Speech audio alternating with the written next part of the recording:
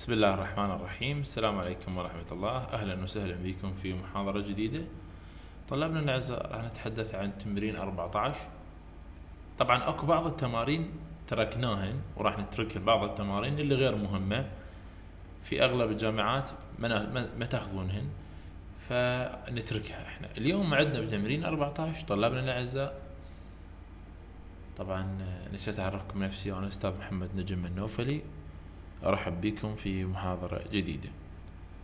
تمرين 14 طلابنا الأعزاء المطلوب من عندك هو ذكر نوع الكلمة. هل هي اسم؟ هل هي فعل؟ هل هي صفة؟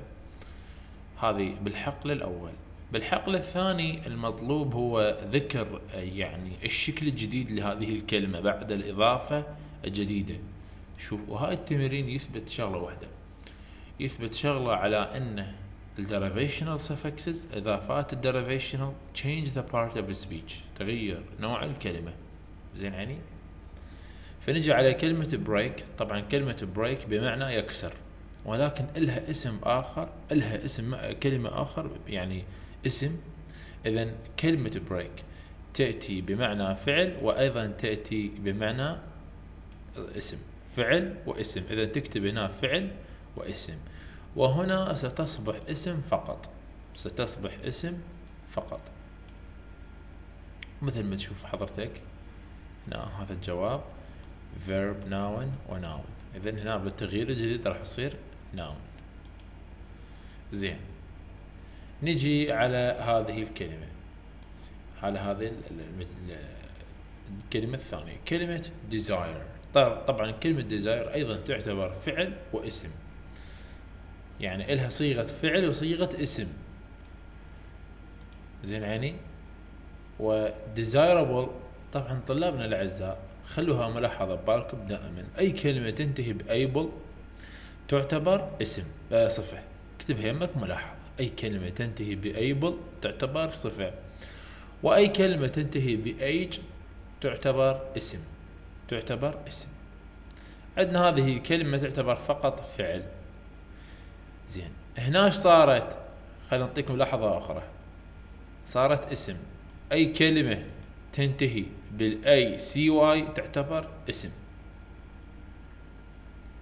زين.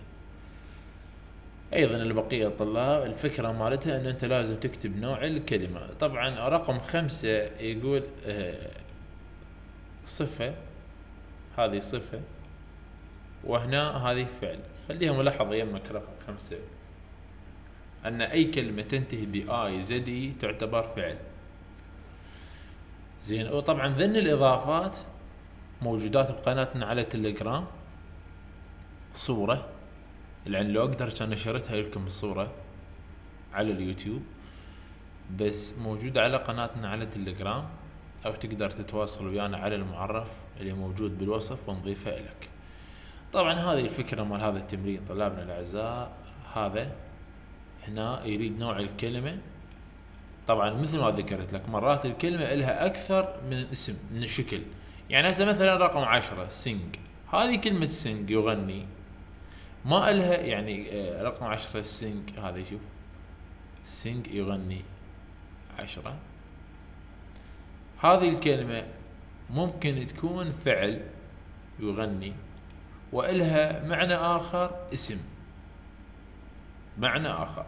بينما هنا هنا بهاي ب- بعد إضافة ال E R بعد إضافة ال E R لها ما راح تكون غير حصرا في اسم.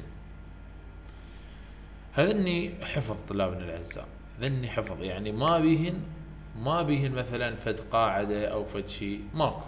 حفظا حفظ. طبعا كلمة يغني sing بمعنى فعل. بمعنى يغني. وتأتي بمعنى اسم.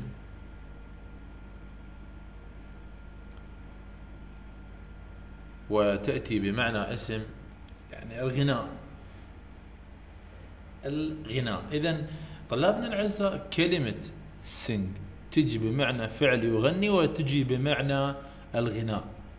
مثلا طبعا موجودة بأكسفورد قاموس أكسفورد let's have a sing.